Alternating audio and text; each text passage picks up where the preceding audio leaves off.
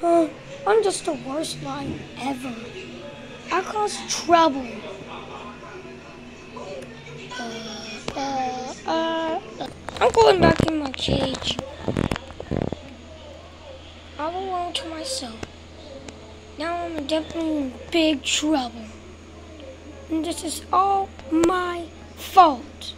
I'm the worst lion ever.